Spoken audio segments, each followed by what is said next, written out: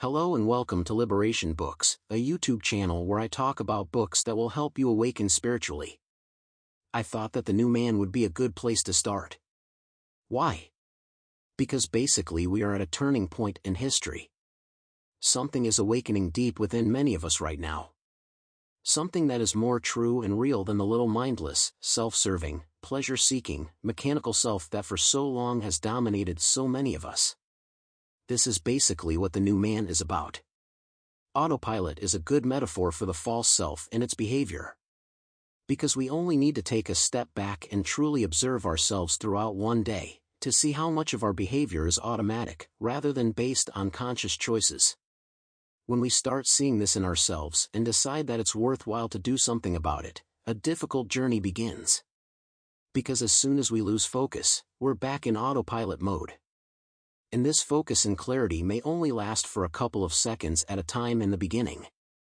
So, who was Maurice Nicoll? Nicoll was a British psychiatrist and psychoanalyst, who was a student of Gurdjieff, who was a spiritual teacher, mystic, esotericist and philosopher. Nicoll wrote several books on Gurdjieff's teachings. His writings focus on the inner work of self-development and the integration of one's physical, emotional, and mental aspects in order to achieve spiritual growth. He also emphasized the importance of self-observation and the use of remembering oneself as a means of achieving self-awareness. The new man begins as follows, all sacred writings contain an outer and an inner meaning. This inner meaning is psychological according to Nicoll and while I'm not completely sure about all of Nicoll's interpretations of the inner meanings, that there are such meanings coincides with my own experiences. To be clear, when we move into the field of the esoteric, there is no more room for subjective interpretation than within the exoteric. In fact even less so. Because all truth within the esoteric can be confirmed through experience. That which has not been confirmed through experience must not be taken as absolute truth. Here I would like to interject two things, to avoid the criticism of elitism, which is something that I detest. The first is that this is not about some esoteric knowledge reserved for a small elite, but something that is there to see for anyone that can see it. The second is that I believe that it is wrong to value the esoteric over the exoteric, or in other words the inner over the outer. My experiences tell me that such a viewpoint only leads to ego inflation, I rather believe that the outer is a prerequisite of the inner.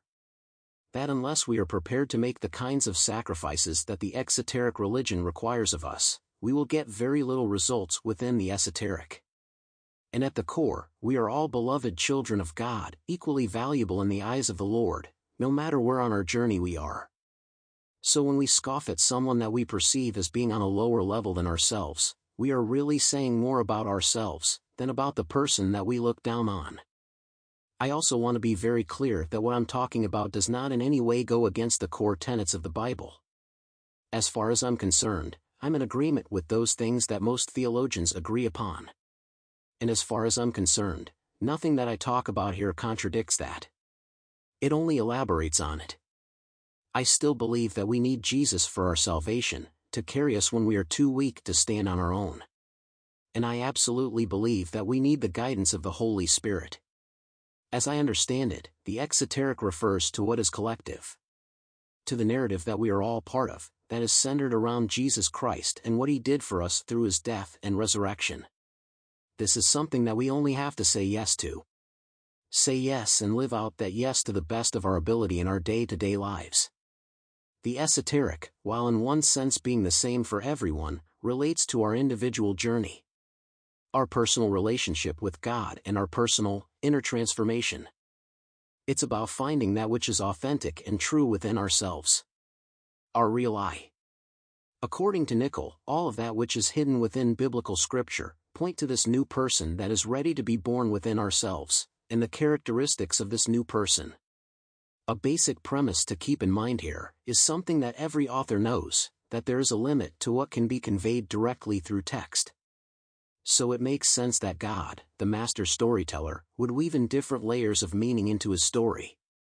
One of the most clear examples of what Nicoll is talking about is when Jesus turns water into wine, which, according to Nicoll points to this inner transformation. Other examples is the blind man that Jesus heals. In the exoteric this of course shows Jesus' power to heal the sick, as well as God's overall plan for humanity.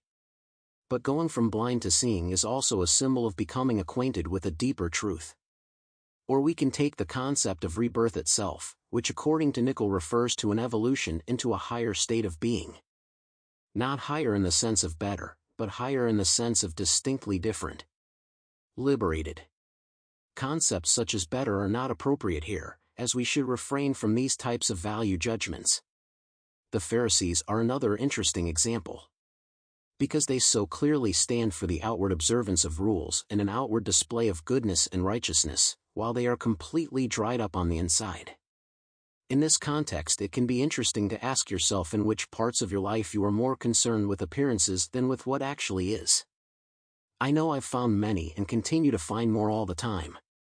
I've even discovered the twisted tendency to unconsciously believe that I will somehow make something about myself a reality, just by making others believe it to be so. These are just a few examples. You may question these interpretations. I believe what Nicoll is pointing to it then. And I believe it because I've started to see it in myself and my own life. Mainly I've started to see just how automatic a lot of my behavior is, and that there is the potential of liberation from this type of behavior within myself. After the initial remark, Nicoll asks rhetorically, why not say directly what is meant? To understand the answer to this question, we need to understand something about words, thoughts, and their limitations. Some things simply cannot be grasped by the intellect alone, and the intellect can often rather stand in the way of understanding. Furthermore, depending on one's current level of understanding, one may not at all be able to grasp certain truths on an intellectual level. But, according to Nicoll, by understanding the literal meaning of a text, we also absorb some of its hidden meaning. In this case we need ordinary knowledge as a starting point. Nicoll goes so far as to say that a man is his understanding. I want you to think about this for a bit. Because what does it mean to have understanding? How do we understand ourselves, the world and our relationship with the world? How do we understand religion and religious scripture? This is what we will be exploring here, taking the concept of rebirth as a starting point. It's important to understand that this definitely has to do with morals, but not in the ordinary sense. It's not about morals for their own, or even for God's sake. But if we want to become born again, there are things that we need to let go of. At the core, the shift we need to make is from living primarily for ourselves, to living for something greater.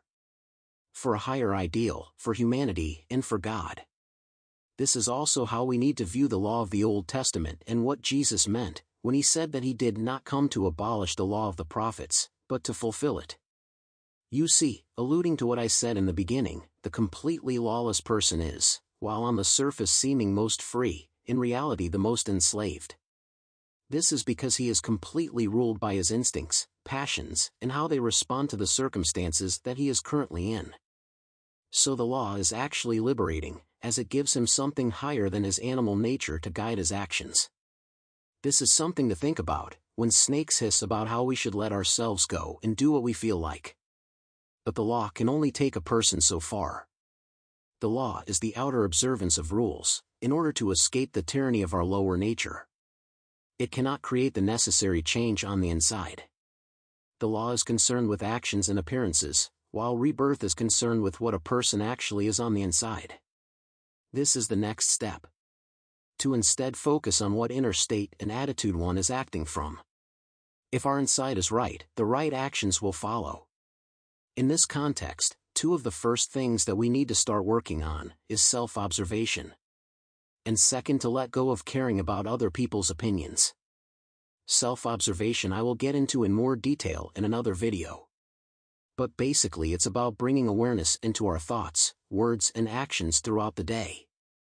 While doing this we must, to the best of our ability, try to refrain from judging ourselves, as this is counterproductive. It's counterproductive because self-condemnation makes us want to hide things from ourselves. Instead, what we need to do is to make a firm commitment to letting all that is unwanted fall away. Then, when we discover automatic behavioral patterns in ourselves, we need to start breaking those to the best of our ability. When it comes to caring about what other people think of us, this is the antithesis to what we are trying to accomplish. We want to change our insides and not our outward appearances. And we want to do this because it's right. Because we want to be authentic and liberated. Not because we want to appear that way. Often appearances have very little to do with truth. And what matters is only our actual inner state. Not what someone else thinks that it is. With this, I believe that I've given you the basics of the concept of rebirth, as it is understood by Maurice Nicoll.